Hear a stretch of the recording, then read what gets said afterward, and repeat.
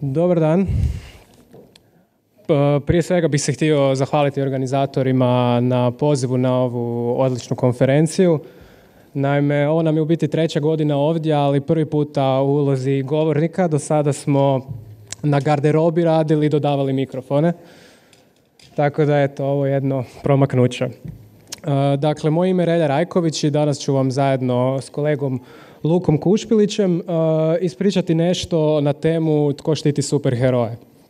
U biti, riječ je o jednom clickbait naslovu, budući da je prava tema nešto ono znanstvenija i ajmo reći formalnija, dosadnija, ali ćemo ju, pokušali smo ju, uglavnom smo, nastojali smo ju pojednostaviti i učiniti malo atraktivnijom za širu publiku. Prava tema je dakle obuhvat autorsko-pravne zaštite, odnosno na koji način su fiktivni likovi u kontekstu autorskog dijela obuhvaćeni njome.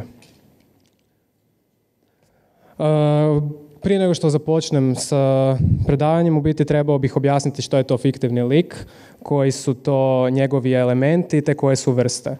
E, fiktivni lik je dakle e, oblikovano biće ili osoba sa određenim osobinama i sposobnostima o kojima se nerijetko u biti raspravlja i izvan autorskog dijela u okviru kojega je nastao.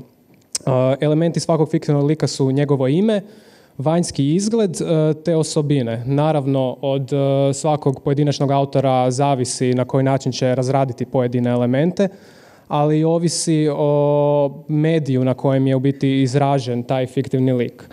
Što znači da s obzirom na te medije e, razlikujemo u biti i vrste fiktivnih likova koji mogu biti jezični i vizualni. Naravno, jezični fiktivni likovi su izraženi putem e, književnih umjetničkih, odnosno autorskih dijela, a vizualni su vizualno izraženi, dakle uh, opipljivi su, odnosno vide se osjetilom vida. Pa sad oni mogu biti čisto grafički, a mogu biti u okviru nekakvog filma, animiranog crtića i slično. Zašto nam je u biti važno koje su vrste fiktivnih likova? Važno nam je zato što uh, se u biti razlikuje stupanj njihove zaštite s obzirom na vrstu, što je u biti logično jer jezični fiktivni likovi nisu u biti dovoljno dorečeni. Naime, oni jesu opisani, ali prepuštaju se, prepušta se čitatelju na volju da si ga on doradi do kraja u mašti. Dok s druge strane imamo nekakvog vizualnog fiktivnog lika koji je nacrtan, te ga u biti, ajmo reći, taj čitatelj, odnosno publika je zakinuta za taj nekakav segment mašte. Ona ga vidi točno onakvim kakvim je što u biti pogoduje njegovom, e, njegovoj autorsko-pravnoj zaštiti. E,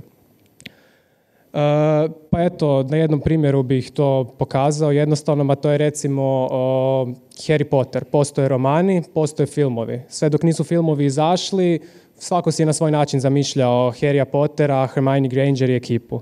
Kad su filmovi izašli, vjerojatno svi koji su pogledali ih zamišljaju danas kao Daniel Radcliffe, Emma Watson i tako dalje. I u biti zašto sam spomenuo Harry Pottera? Naime, bila je jedna anegdota prije godinu dana dvije vezana za jednu predstavu koja e, je počela igrati. E, zove se Harry Potter and the Cursed Child. I u biti Kestana je glumica e, za Hermione Granger koja je crnkinja što je izazvalo svakakve reakcije u javnosti, neki zadovoljni, neki ne ali zašto vam ovo biti spominjem? Jer u romanima nigdje nije uh, spomenuto koje rase Hermione Granger. Ona je više manje opisana kao pametna, bistra djevojka sa razbarušenom kosom, što može biti apsolutno bilo ko, odnosno bilo koje rase. Uh, naše, uh, naše istraživanje se u biti svodilo više manje na američku jurisprudenciju, iz razloga što kod nas nije bilo toliko, ajmo reći, e, predmeta iz prakse, barem mi nismo naletili na njih, a američka jurisprudencija, sama Amerika ima jedna od najbogatijih filmskih industrija, stoga je plodno tlo za takve predmete. E, naravno, jesu to različiti autorsko-pravni sustavi i u mnogo čemu se razlikuju, ali se preklapaju u jednoj bitnoj stvari, jednom temeljnom načelu, a to je da se ne štite generalne i općenite ideje, već konkretne i specifične ideje. Znači samo izražaj ideja se štite. A to je u biti e, temeljno načelo e, koje se primjenjuje i kod nas i koje je e, baza daljnjeg našeg istraživanja i testova koje su u biti stvoreni u okviru te američke jurisprudencije. Dakle, postoje dva testa Nichols test ili Character Delineation test, te Sam Spade test ili The Story Being Told test. O prvom testu ću vam ja nešto ukratko ispričati, a dalje će kolega Kušpilić onda nastaviti o Sam Spade testu. Uh, dakle, govori o tome koliko je plodna uh, praksa američka, uh, to da je prvi slučaj koji se pojavio bio 1930. godine. Riječ je o kejsu ovoga Nichols protiv Uh, Universal Pictures Corporation. Naime, tužiteljica Anne Nichols je autorica jednog dramskog dijela uh, Abyss Irish Rose. I u svakom slučaju nositelj autorskog prava uh, The Coens and the Kellys je Universal, Universal Pictures Corporation. Tema oba dijela se svodi u biti na katoličko-židovski par, oni su zaljubljeni, roditelji im brane jer su različite vjeroispovijesti, u biti nešto jako onako stereotipno i klasično, ništa osobito. No, Anne Nichols je osjetila da je povrijeđeno njezino autorsko pravo te je podnijela tužbu uh, sudu.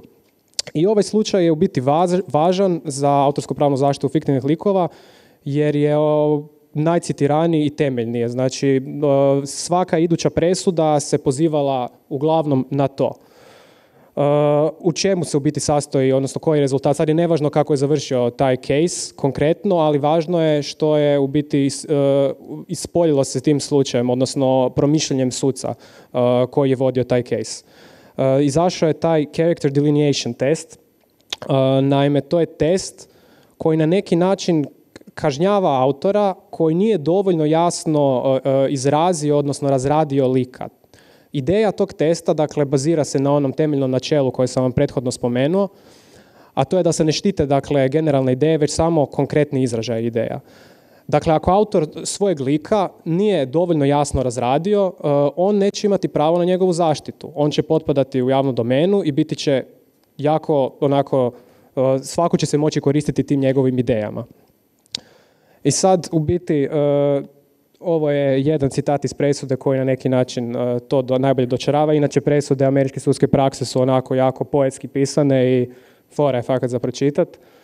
Uh, u svakom slučaju da, dakle, autor je taj koji snosi posljedice ukoliko nije dovoljno razradio lika. I sad se u biti postavlja pitanje koliko je realno razraditi lika kada je jezični, odnosno može li ga se dovoljno dobro razraditi da on bude u okviru autorskog prava, odnosno zaštite, ili to nužno mora biti uh, vizualni fiktivni lik.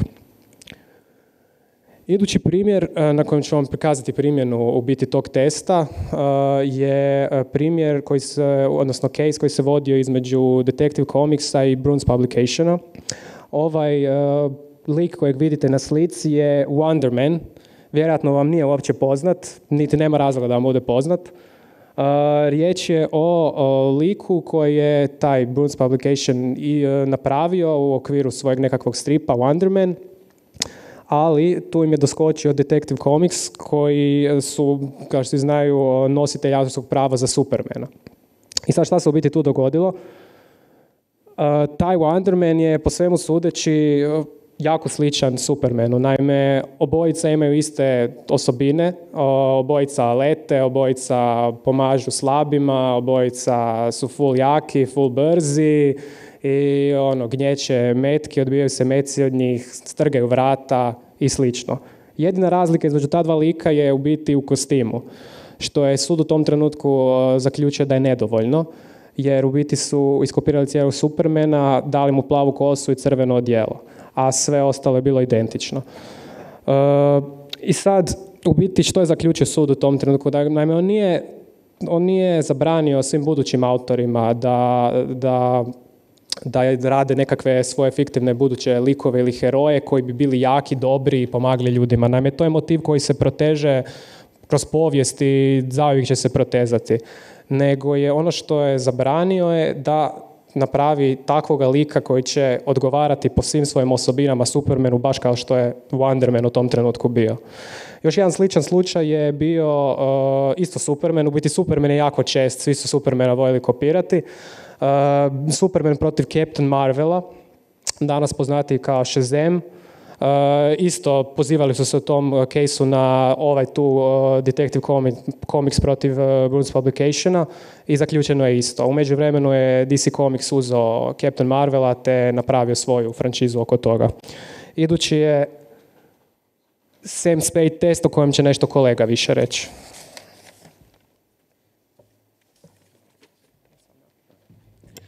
Evo, znači sljedeći e, test koji je stvoren u sudskoj praksi bio je e, Sam Spade test. Naime, bilo je riječ o liku Sema Spadea iz e, romana Malteški sokol Dešila Hemeta.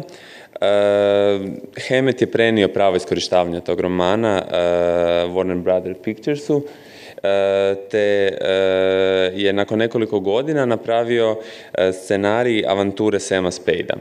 E, pravo iskorištavanja tog scenarija prenio je na e, Columbia e, Broadcasting Systems, te u tom trenutku Warner Brothers smatrao da, da je povrijedio svoju ugovornu obvezu, jer je u tom scenariju bio lik Sama Spadea i mnogi drugi likovi iz romana Malteški sokol.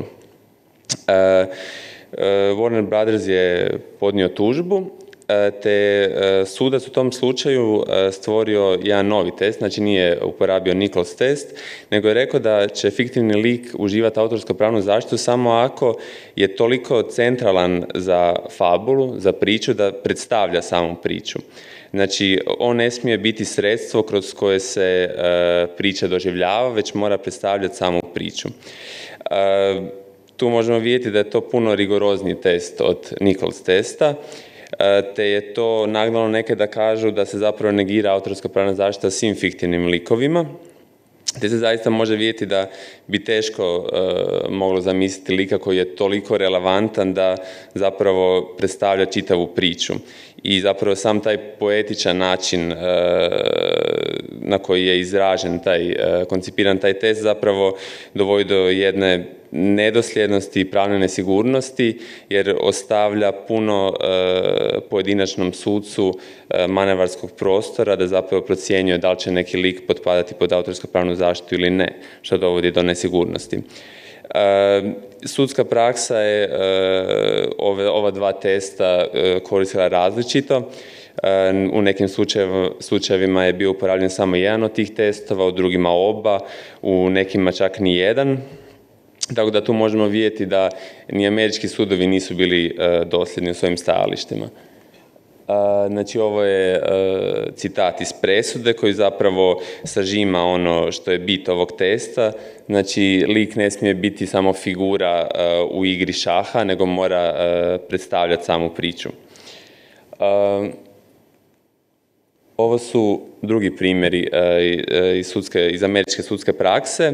Evo opet primjer sa Supermanom. E, znači, bilo je riječ o tome da je ABC stvorio novog lika koji se zvao Ralph Hinckley te je u mnogo čemu podsjećao na Supermana. Oboje su imali rengenski vid, nadljudsku snagu, oboje su vodili dvostruki život te zbog toga Warner Brothers, e, nositelj prava na liku Supermana, e, tužio ABC, e, te u ovom slučaju ipak sud uskratio zaštitu, iako je jasno bilo utvrđeno da Superman uživa autorsko pravnu zaštitu, to nije dovoljno, nego treba postati sljedeći element ili sljedeći korak, a to je da postoji suštinska sličnost. Ali usprkos svim sličnostima još, na primjer, oboje su nosili plašt, e, oboje su znači, spašavali nevine, oboje su letili sa ispruženim rukama. E, sud je tu rekao da, da ne postoji e, znači, suštinska sličnost, jer opći utisak i ugođaj se razlikuje. Znači, ta jedna zapravo neodređenost takvih, takvih fraza je zapravo dosta stvara jednu nesigurnost zapravo ne možete znati što će se štititi, a što ne. E, u sljedećem slučaju e, bilo je riječ o Jamesu Bondu, naime Honda e, u Americi je počela 1994. prikazivati novu reklamu za svoj model Honda del Sol u kojem je mladi par na motoru bio proganjan od strane negativca u helikopteru te muškarac e, u toj reklami je pričao sa britanskim naglaskom, bio elegantno obučen, davalo se do znanja da se radi o špijunu. također agencija koja je napravila samo reklamu je čitav projekt nazvala James Bob a, također je kad su tražili glumce su tražili, su jasno naznačili da traže znači muškarce koji liče Jamesu Bondu.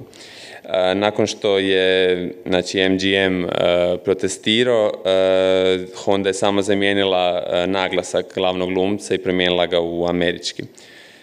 Nakon toga MGM tužio Hondu te se Honda branila time da je, da je tvrdila da je to samo riječ o znači, stereotipnoj sceni špijuna koju, kojeg proganja negativac. Još je također tvrdila da James Bond ne uživa autorsku pravnu zaštitu iz razloga što su ga, što je to riječ zapravo o jezičnom liku koji je kasnije postao kao Harry Potter e, vizualni i još e, su ga glumili mnogi glumci, znači on nema neki jasan, jasan vizualni izražaj da bi se njega moglo e, štititi. No, ipak u ovom slučaju isti taj argument je sud iskoristio protiv Honde i rekao da upravo zato što ga e, igraju mnogi glumci, on opet zadržava e, svoju konzistentnost i jedinstvenost i zapravo svi mi možemo prepoznati e, Jamesa Bonda. I ono što je još sudac rekao u tom slučaju je da E, zapravo ljudi ne idu gledati filmove o Jamesu Bondu ili o Tarzanu ili drugim ili o Supermanu zapravo zbog priče, nego zapravo idu zbog tih samih likova i time potvrdio zapravo veliku važnost e, fiktivnih likova. E, u, u ovom zadnjem slučaju bilo je riječ o tome da je ova, ovo društvo Air Pirates napravilo crtane filmove sa likovima iz Walt Disney, Walt Disney Productions, e, poput Donalda Ducka i Mickey Mousea, e, te su tim crćima oni bili e, stavljani u scene vezane sa promiskuitetom, drogama i drugim temama koje nisu se baš slagale sa Disneyovom politikom. I u tom slučaju sud je dopustio, to je spružio zaštitu tim fiktivnim likovima te proveo samo ovaj Nichols test, znači ovaj prvi o kojem je kolega pričao, te je zapravo rekao da nije potrebno, potrebno provoditi uopće ovaj drugi test, jer oni već imaju takav jasan vizualni izražaj da uživaju zaštitu. I evo na kraju se postavlja pitanje, znači, kako nam mogu u hrvatskom pravu ovi testovi pomoći. Znači, e, riječ je o tome da e, se hrvatski, e, znači kontinentalno-europski autorsko-pravni sustav i copyright sustav uvelike razlikuju. Razlikuju se iz razloga zato što je znači, tehnika zaštite potpuno drugčija. U copyright sustavu se autorska dijela svrstavaju na jednu taksativnu listu i ako autorsko djelo ne može se podvesti po jedan od stavaka na, pod, pod jedno od stavaka na toj listi, ono ne uživa zaštitu. Za razliku od toga u Hrvatskoj i u drugim kontinentalno-europskim sustavima E, znači koriste tehnika generalne klauzule, znači jedna e, široka definicija, tako u Hrvatskoj je to originalna tvorevina individualnog e, karaktera, koja se kombinira sa jednom primjeričnom listom. Znači samo se nabraju neka dijela koja bi moguće, koja bi bila autorska dijela, no ona nije završna. Znači ne mora nužno autorsko ne mora nužno, na primjer, pisati fiktivni lik na toj listi da bi on živo zaštitu, nego čisto se mora podvesti po tu jednu generalnu definiciju. No ono što je e, isto i za copyright i kontinentalno europski sustav je to da se ne štite ideje, već izražaj ideja. A nekako smisao iza toga je da se ne smije iz javne domene uzimati ideje, jer bi to zapravo kočilo razvitak umjetnosti i kreativnosti. E, tako da u tom segmentu e, ovi testovi mogu pomoći kako bi se zapravo poštivalo to jedno osnovno načelo autorskog prava da se ne štite e, ideje, već izražaj ideja. Te, e, iako znači, u hrvatskoj sudskoj praksi, barem mi nismo mogli naći uh, nijedan primjer znači parnice povodom povrede autorskog prava na fiktivnom liku. Mi smo u radu zaključili da je hrvatski autorsko-pravni sustav opremljen institutima koji bi mogli štititi fiktivne likove. Evo, hvala na pozornosti.